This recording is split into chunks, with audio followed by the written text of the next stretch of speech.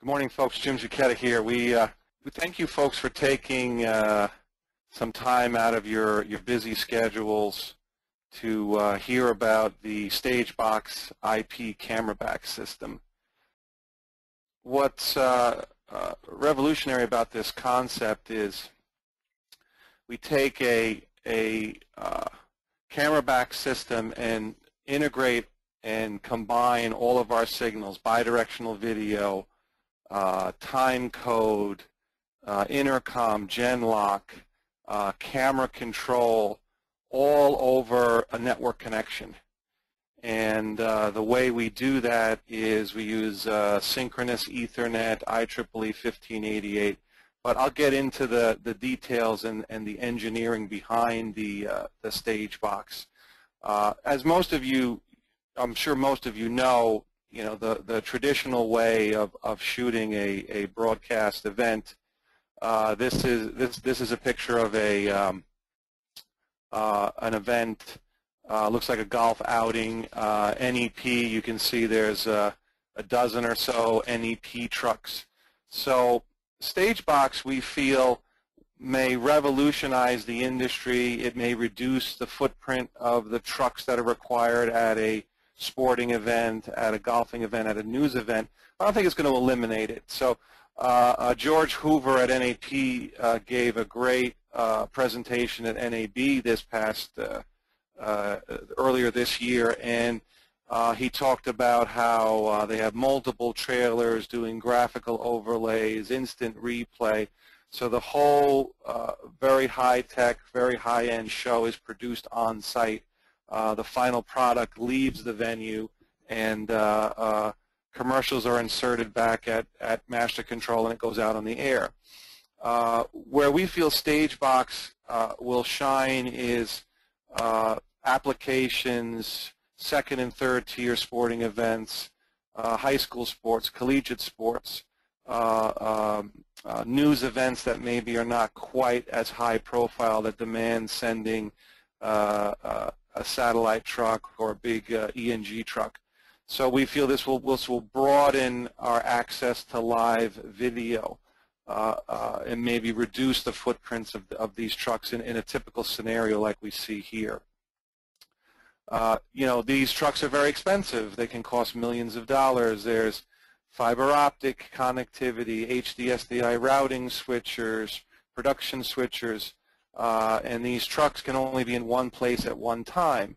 Uh, um, if we centralize master control uh, uh, in a central location, multiple shows in different locations can be reproduced throughout the day. So in the morning, the Central Master Control could be doing a show out of New York. Uh, then a few hours later in, in, another time zone, they could do a show from Chicago. Later in the day, they could produce a show from, from LA. So the, the Master Control is not stuck at one venue, stuck in the truck. So we can centralize that. And the, the stage box technology was created by the BBC R&D department for their own needs. Uh, their engineering team saw that uh, uh, you know they needed to reduce costs, like we all do. They needed to reduce the, the footprint required to produce a mobile production.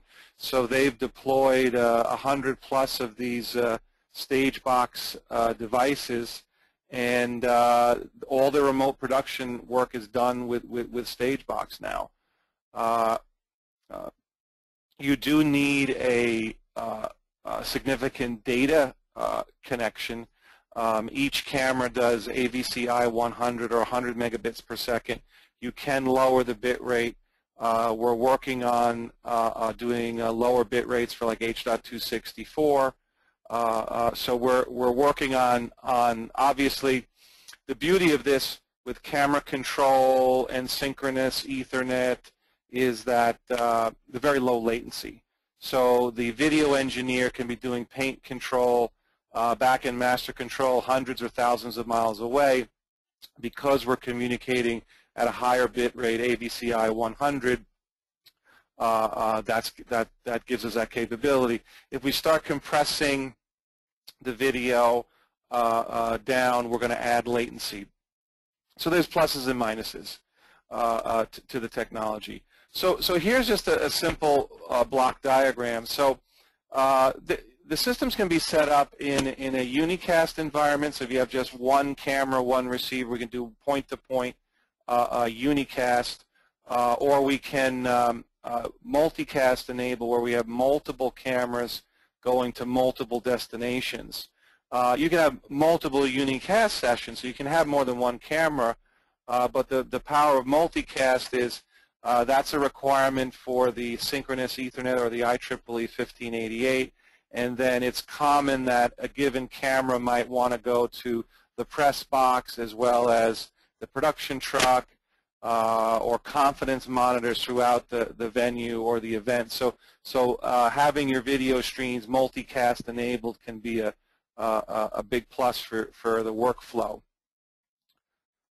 Uh, so uh, another uh, reason, the the the the, uh, the main reason why the BBC chose AVC i100 is that it's compatible with uh, most nonlinear editing systems. You know, whether you're using Avid, Final Cut Pro, uh, or any of the Adobe products, uh, they all support or have an ingest. they can ingest directly AVC i100. If you bring in other more compressed formats uh, like an H.264, uh, you have to do some transcoding. You have to ingest. You have to decode before you can edit. You know, H.264, you you can't. It's not easy to, to, to natively edit. You you usually have to ingest it, transcode it, convert it to uh, a more editable format. So the BBC has been able to uh, stream video to the web uh, uh, they, they're able to edit uh, near live or 10 minutes behind the live production is, is their typical workflow. So they do these uh, long uh, uh, concert events, week-long concert events. I have a video at the end of the presentation. I'll give you a link to it. But it shows how over the course of a long weekend, normally what they have to do is after each performer goes on stage or after each news piece or each uh, uh, it's not until the live event is over uh, that they typically start editing and repackaging the content for distribution to the web or second screen. So this way the, the second screen or web uh, uh, uh, delivery of the live programming can be you know, five to ten minutes behind the real live event. And the viewer at home doesn't even know there's a, a five or ten minute delay. So, so they're repackaging the content virtually as it happens. They suck it into their nonlinear editing, and and they're they're ready to roll, uh, uh, re repackaging the, the content as it happens. So I don't want to be redundant. So so the BBC uh, developed this. Uh, Vidovation has been chartered to bring this technology to the U.S. to North America. Uh, uh, so we've introduced this recently uh, to the North American market. Uh, we have some uh, new additions that I'll get into later in the Stagebox family that will be coming out at NAB this year. So here's a here's a close-up of of the device. Uh, it's probably easier to see it in the PowerPoint. So uh, this is the the the I/O side of it. So you can see you have an SDI in and an SDI out. You have an SFP port. So in this particular case, it's a it's an electrical uh, SFP, but you know we could swap this out for uh, an optical Ethernet SFP. So it's an Ethernet connection. So it's either a wired uh, or an optical Ethernet. Uh, SDI in and out. So it's a transceiver. Time code in and out, and reference in and out. This would be Genlock. So typically what we do is uh, one of the units is declared the master. So if you did have a small production truck or you did have a house reference signal, you could feed that in here to, into ref in, and it's got a loop out, so you can loop in, loop out. Uh, we can provide you with the mini BNC to full-size BNC adapters here if needed. Uh, uh, if there is no Genlock reference, uh, you can designate one of the cameras as the master input, or you can feed just SDI in uh, confidence video going up to the camera uh, and lock off of that. So that could be used as the, the master reference uh, uh for the system. Uh, then on the bottom, uh, you see here we have a 5-pin XLR for, for a stereo analog audio in and stereo or two-channel audio out. This is great for IFB or intercom.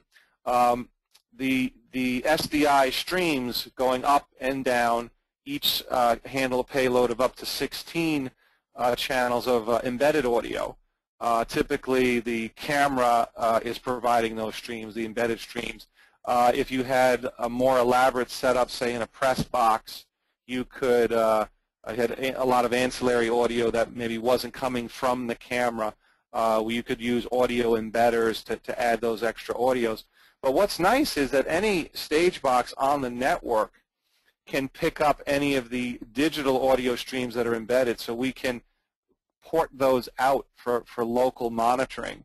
Uh, so if it's good for diagnostic purposes or if uh, uh, cameraman number two is waiting for a cue from camera station number one, uh, he can listen to the program. He can dial into the program of that camera and listen for his cues. Say, okay, now we go to Bob live, you know, down on the floor of the Staples Center. He can be tapped in, the cameraman uh, can be tapped in and, and give a cue to the talent to start talking.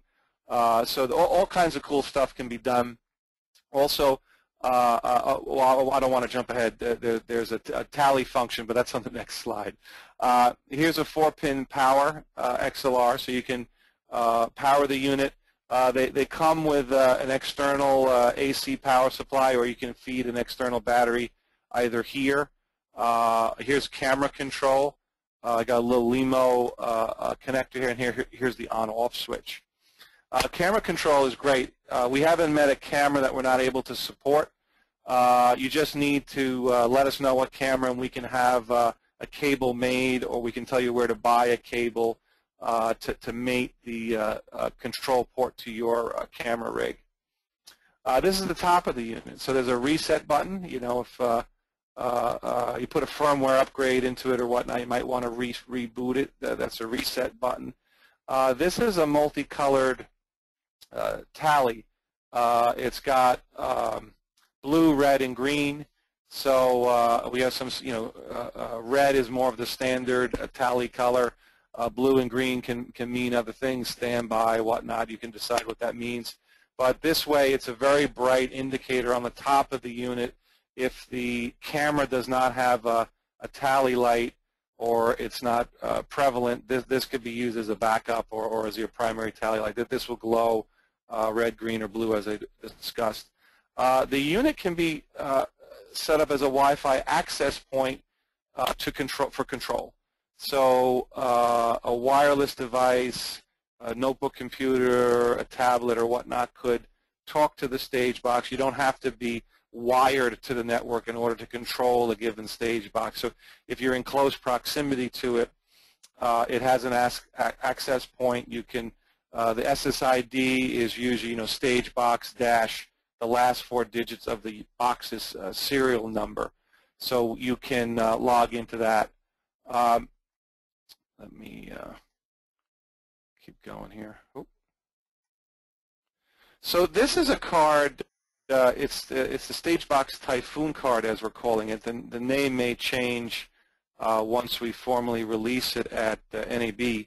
But uh, what you can see, uh, what's available today are are the are the uh, the standalone boxes. So what the BBC does is they'll put these on a shelf to receive a signal. Uh, we're working on uh, repackaging these uh, in a rack mount configuration for more traditional base station receiver. And then uh, uh, uh, conversely, the um, in addition, the, the Typhoon card can go in a nonlinear editor or an inexpensive PC as a capture device. so, so what it does, it can take multiple streams in. There's four BNC IOs. Uh, what's nice about it is it doesn't require much resources from the host PC. So if the host PC is uh, uh, uh, uh, primary function is nonlinear editing, we have silicon on this board here to do the decoding and in future revisions even encoding. So this, this primarily right now is set up as a decoder. Uh, our engineers by NAB time will have firmware that will allow encoding as well as decoding So, so the horsepower is here on the board. It's on the silicon. So we're not stealing uh, uh, power or resources from the computer. So an inexpensive PC could be set up as a capture device, or uh, we could get a 1RU PC, put this card in there. Um, the PC really is just there for power and administrative uh, control. Uh, and again, this, like I said, this would fit in a in a in a in a PC, uh, Avid, Final Cut Pro, or Adobe nonlinear editing edit device. So again, no transcoding, uh, um, no decoding unless you need to. Uh, uh, this device will allow you to, to take the native stream, record it to, to the hard drive, uh, immediately uh, edit on the fly, uh, decode it and stream it out as, as baseband SDI, you know, to put up on your video wall or on your monitors. It, it unpacks the UDP and RTP streams. Uh, as I said, it'll decode. Uh, we have we have hooks to uh, connect to multi-viewers. Uh, the industry is starting to write uh, uh, firm computer drivers to talk to the StageBox Typhoon. we have a couple of partners. This, this is one partner in particular. this will be shown again. This is this was at a demo at BBC most recently, and we will be demoing this at at NAB this coming year. So you can see how you can have the four cameras uh, coming into the, the decode card, uh, uh, showing it on the local nonlinear editing PC, but if you wanted to put it up on your video wall, you could route out the, uh, the baseband video um, out of one of these ports to, to your, to your multi-viewer in your control room. So, you know, it wraps and encodes the video in uh, M, uh, MXF wrappers and containers, uh, it'll write an MXF uh, file. So it supports all the hooks that are required for nonlinear, nonlinear editing. Uh, just just uh, gives you a seamless IP uh, workflow. Uh, the heart of the Typhoon card is two big Xilinx FPGAs. So the beauty, beauty of that is using field programmable gate arrays is that we can upgrade firmware. Um, the current target boards uh, um, uh, will not support H.265. Uh, uh, probably in the coming year we'll, we'll respin the boards, put more horsepower in these FPGAs to do H.265. Uh, but right now it's doing AVC I100. Uh, H.264 is, is we have some beta modes for that, that format, but th that should be available by NAB. And, and here's a little summary, you know, so so uh, compressed AVI, uh, audiovisual uh, uh, input, you know, so the, the stream coming in, the IP stream uh, can go through the PCI Express host bus to record to the hard, hard drive. Um, you can uh, stream out or, or, or, port the IP stream out to the uncompressed or the baseband SDI outputs.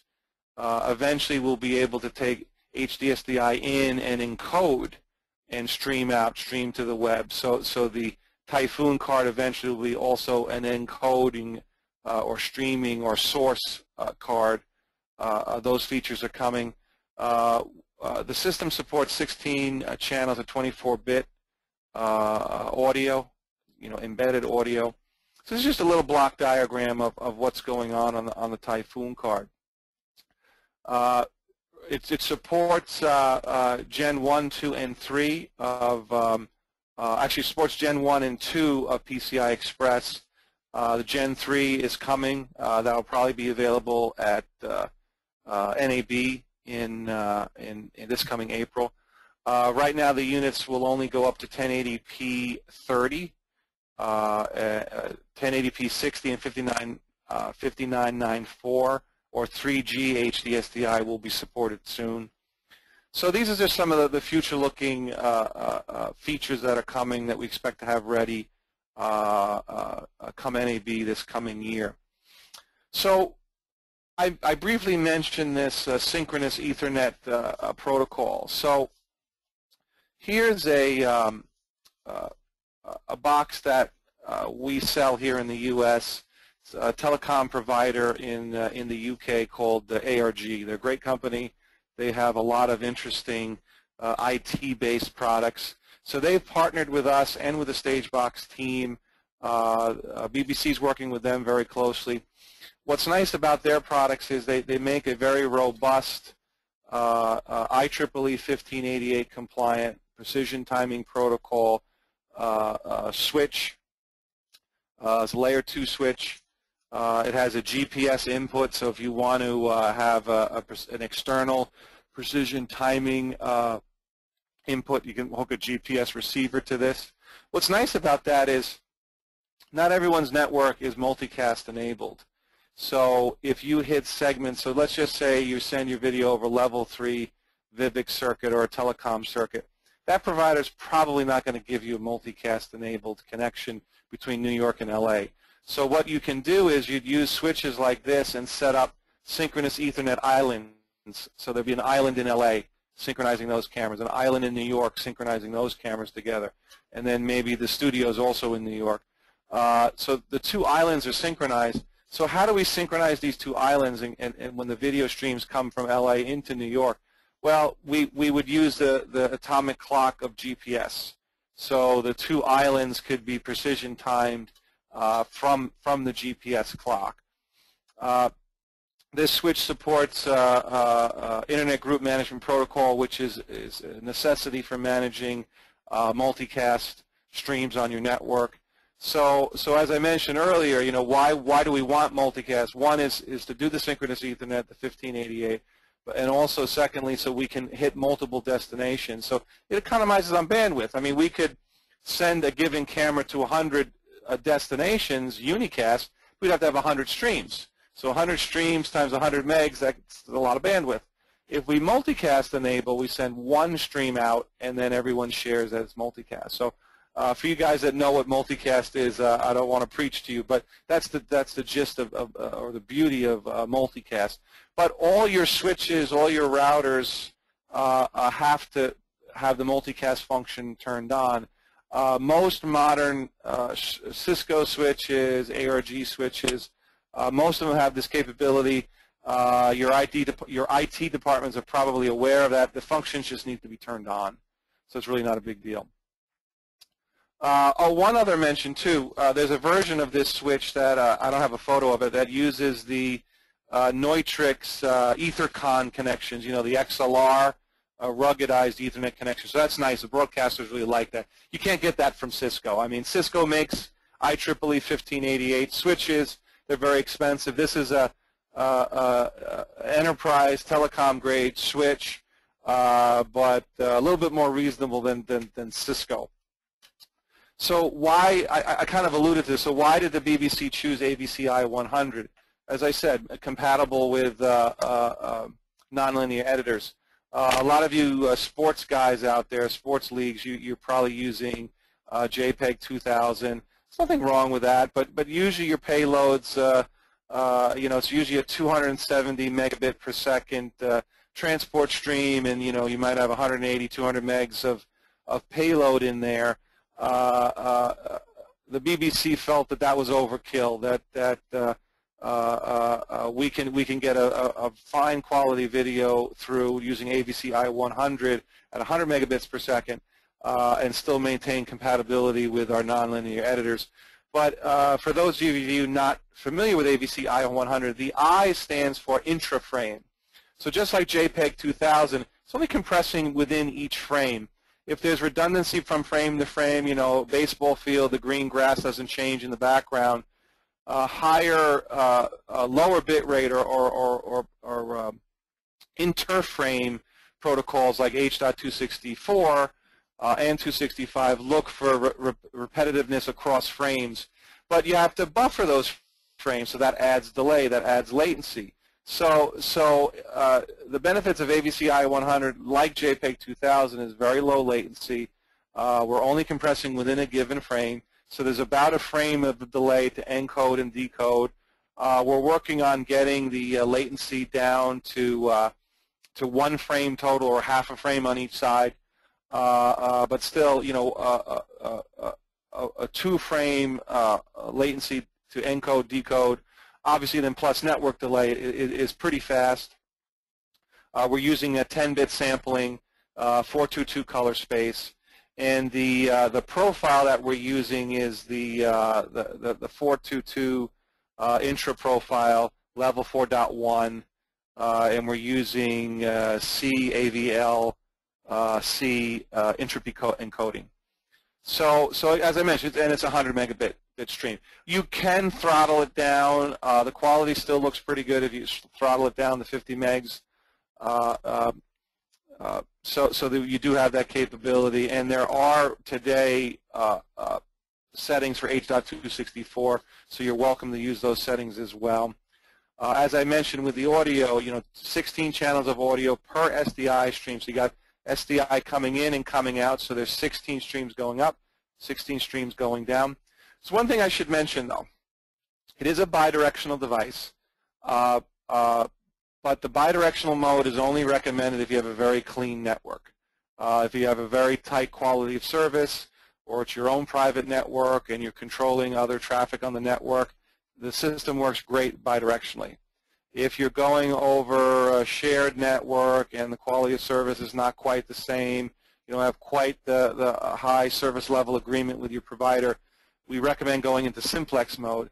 And then simplex mode gives you uh, deeper uh, buffering for packet reordering. It does do reordering in bidirectional mode. So basically what, what, what happens is I showed you those two FPGAs uh, uh, on the motherboard. Uh, there's limited horsepower on there. Uh, future models will have more horsepower when we, when we support H.2, when we support 1080p 60, we'll have more horsepower in future models. So, so if your network requires forward error correction, we now have released, a officially released a forward error correction uh, firmware. The latest firmware supports that. We have deeper buffering uh, in, in that mode. We can do uh, uh deeper packet reordering. So if you have a network that's you know breaking up your packets and they're not arriving at the same time, they're taking different different paths. It's going through uh, a public network of some sort, uh, uh, we have a much more robust transport stream in simplex mode. So, so uh, just just remember that. So, you know, then then obviously we'd only have 16 channels coming down. We wouldn't have uh, 16 channels returning. Uh, but two channels of bidirectional audio, and as I stated, we you can map any one of the embedded audios to the analog ins or outs. Uh, I mentioned before monitoring a given SDI uh, uh, port on the analog audio output, you can do the same thing. You can use it as an embedder. So just be careful, though. You don't want to write over program video with, with uh, audio that you're inserting. But let's just say ad hoc, somebody walks onto the set. Oh, we need another mic. Uh, what are we going to do? That you could plug uh, a, a, line level input. obviously, you need a microphone preamp, but you can, on the fly, embed an audio channel uh, into one of the SDI streams through the audio input. The, these, uh, I'm alluding to these uh, uh, audio inputs and outputs down here. So it gives you that flexibility. Uh, the audio payload does add 20, 21 megabits per second to the uh, transport stream. So it does start to be 120, 121 megabit per second stream. If you run the video wide open, as I stated, you know, the quality still looks good to, down to about 50 megabits per second. So if 121 megabits starts to be too much, you can throttle that down. Uh, so the, the, the, BBC wanted to use uh, open standards, so that, that's another reason why you know they like the, the AVC I100 uh, protocol. Uh, uh, they want to encourage uh, other vendors um, we're working on uh, uh, SDK for drivers to be written for all the different nonlinear editors, uh, multi-viewers. We are getting some vendor support. Uh, oddly enough, uh, the initial support seems to be coming out of the UK. So it's uh, customers or vendors for the BBC are the, are the initial ones developing some of these drivers that are needed for multi-viewers and uh, uh, other types of nonlinear editors or other gear that might want to ingest the, these these signals. Uh, uh so it's, it's uh, SFP, wired or optical Ethernet, no jumbo frames, uh, Internet Protocol, 791, unicast, multicast. So it's a RTP real-time protocol over UDP for the audio, video, and data control.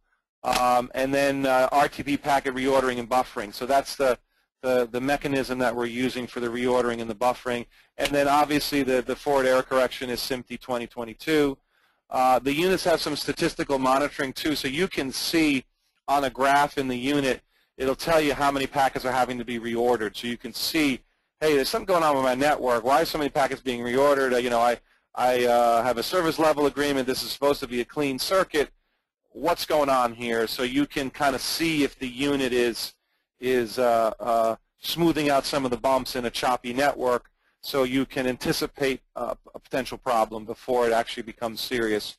You can keep an eye on things and, and see uh, if the unit is struggling because the network is uh, uh, dropping an undue number of packets across the network. So how does the Genlock work? How does this uh, precision timing protocol work? So so, so in this scenario, uh, this stage box here on the left, we're going to call it the master. So this would probably be on the receive side in your production truck or your smaller production truck uh, or in the control room. And in this case, we're not feeding in a separate uh, reference. We're just taking the SDI in. So maybe we're sending a program feed out to the cameraman so he can see, uh, they have a monitor in front of the talent so they can see when to speak. Or, or it's a uh, for an interview. So he can see the program feed and say, okay, we go to you, Bob, out in the field. Boom. He hears and sees his cue, and, and that's typically what's coming up on the, uh, on the upbound feed.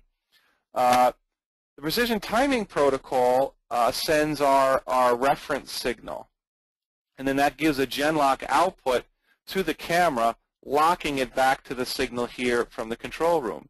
So, so uh, uh, uh, this works really well. Uh, you can see here in the next slide, you know, so obviously the camera's got to have a Genlock input. Uh, if it's a device that doesn't have a Genlock in, you'd have to put an external frame sync. The uh, stage box does not have a, a built-in uh, frame sync if your device does not have a reference or a Genlock input. So in this scenario here, it's an older tape. Can see it's even got a tape here. What's a tape? I don't even know what that is. so you'd have to put the um, a frame sync external to the stage box. So, so, so this sends a synchronous signal up. Uh, but the problem is, is the video coming down is uh, is uh, is uh, asynchronous. Uh, if video two sends an asynchronous uh, feed down, it, it, you know, so what do we do in that case? So, so well, no. In this scenario, if we feed Genlock to the camera, the video coming down is then synchronized with the video coming up. Everything is good.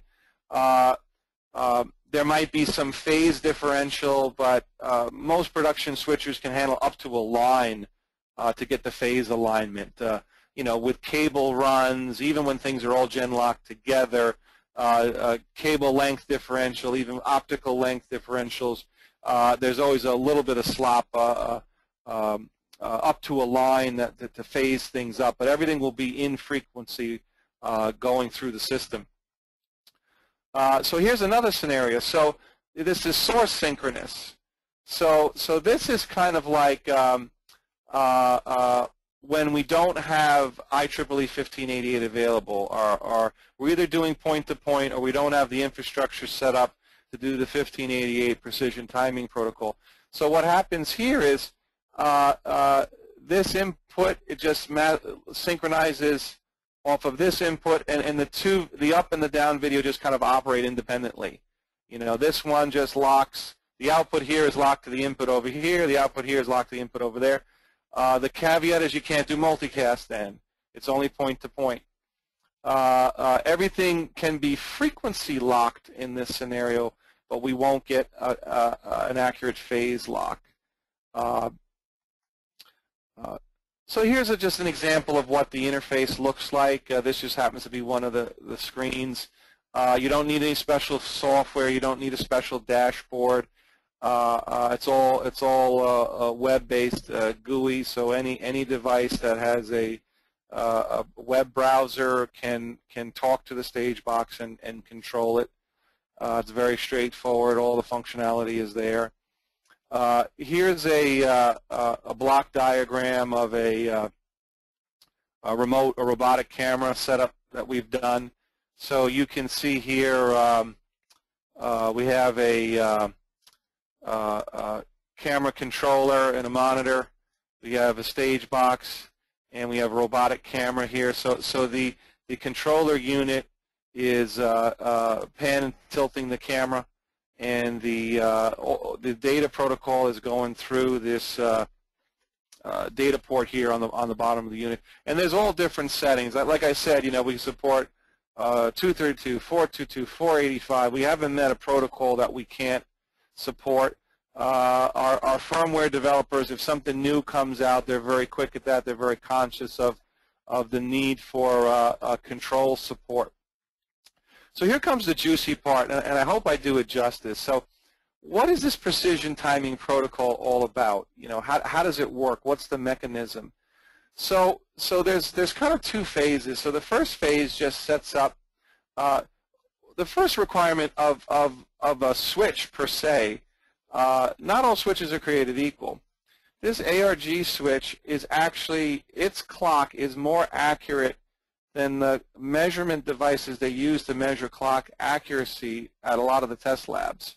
So this is actually better than a lot of the reference equipment that's out there. So you need switches that have a very accurate timekeeping device in them. Otherwise, this won't work.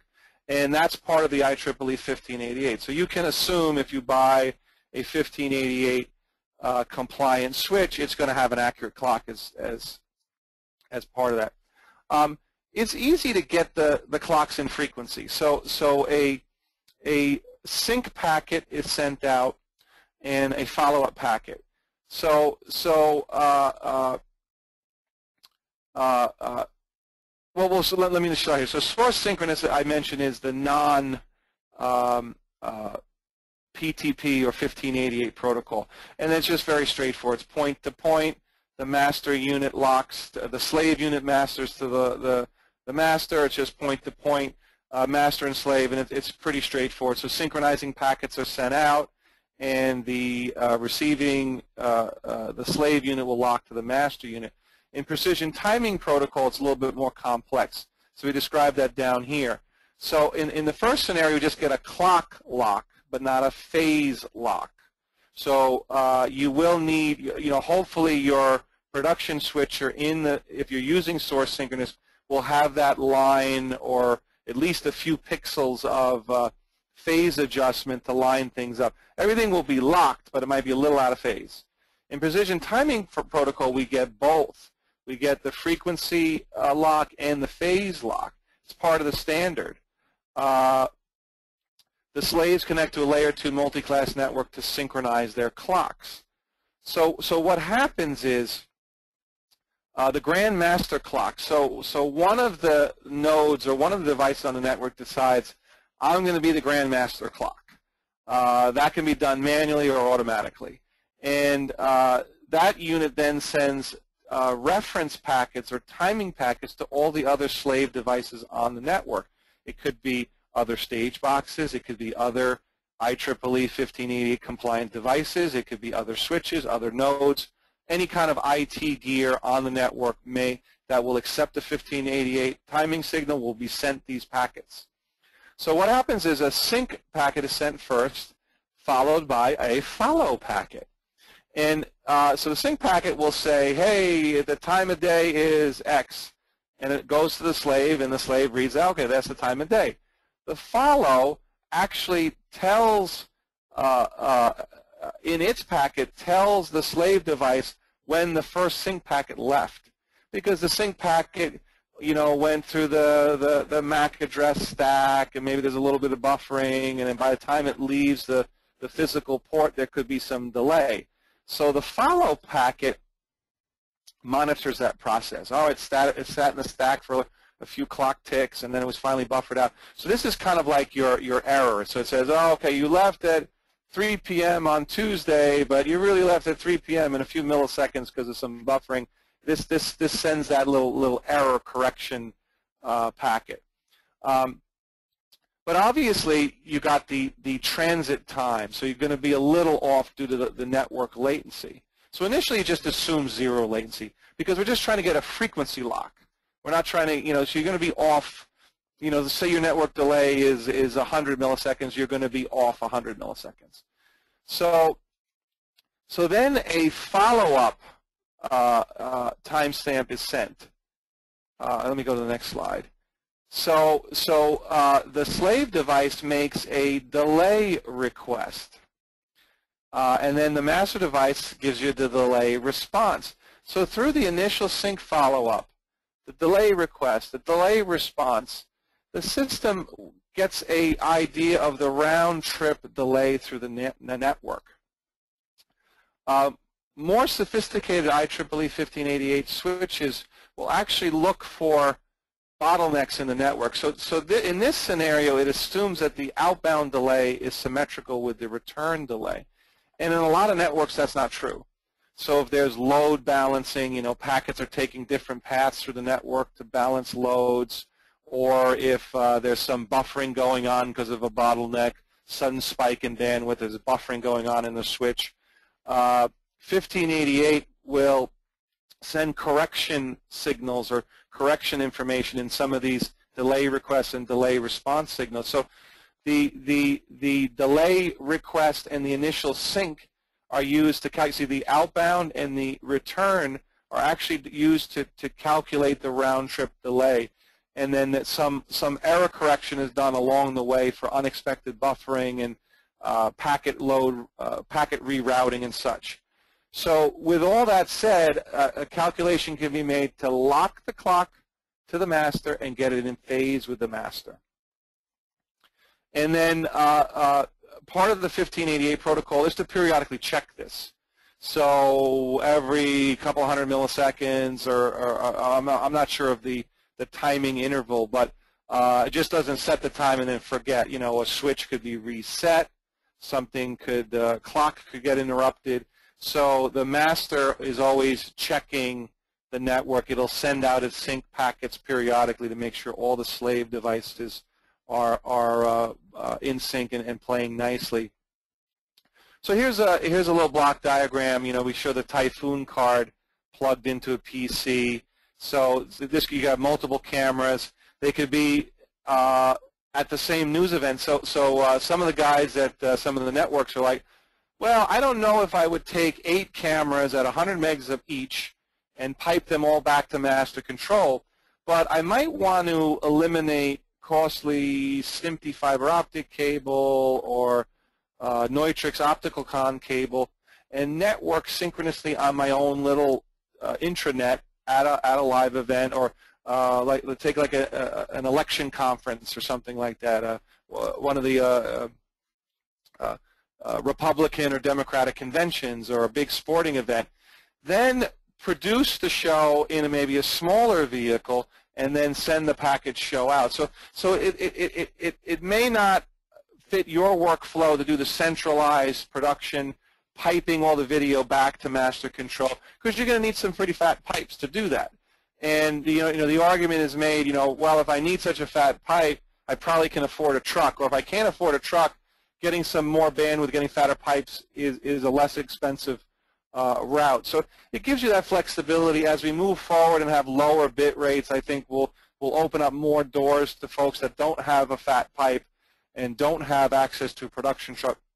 So it gives you that flexibility or just another way of doing thinking of it is just another way to, to network your cameras together using an IP workflow instead of using uh, expensive fiber optic cabling, fiber optic infrastructure, HD SDI routing switchers, optical routing switchers. You're just going to use off-the-shelf Ethernet switches that cost a couple of thousand dollars instead of a, a, a 500 by 500 port uh, electro-optical routing switcher that costs hundreds of thousands of dollars. So it's just an alternate way of looking at our workflow uh, in, in, in the field or in the, in the uh, broadcast space. Again, here I, I show you how uh, as long as you have network connectivity, whether it's through uh, a LAN connection, a fiber optic connection, or even satellite, could be thousands of miles away between the stage box and the control room or the ingest device. Uh, mouse got stuck for a second. Uh, here's another, uh, this is kind of a future-looking statement where we uh, uh, will, we are planning on releasing a rack-mounted version where we take several of the stage boxes, probably four of them, put them in a rack mount, you know, one or two RU box, and then that sits in the rack either in the control room or it could be a telco play. This could sit in the uh, the level three telco closet. Uh, we're talking to guys at level three or people at the switch where this would be part of their services.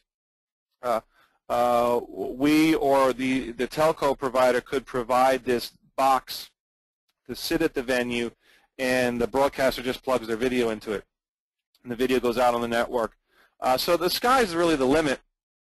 And then here's the controller units. Uh, video engineer doesn't have to be on site. He can be, you know, back in master control. He could be in a smaller truck.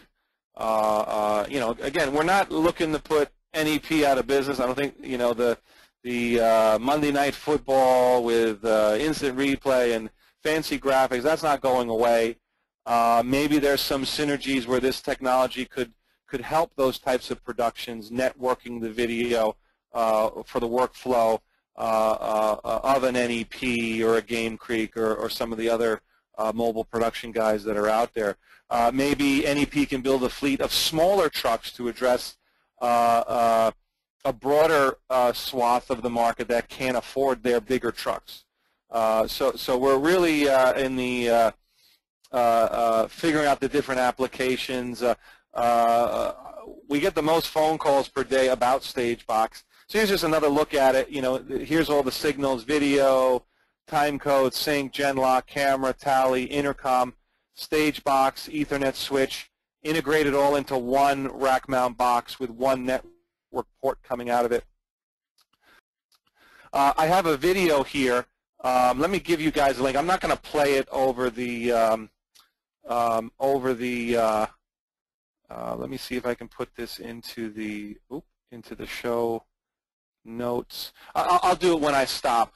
Um, I, I, actually I don't want you guys playing the video yet. I'm almost done. I got like two more slides left. But this is a great slide. Um, it's very entertaining. Um, you can see the enthusiasm of the British engineer from the BBC.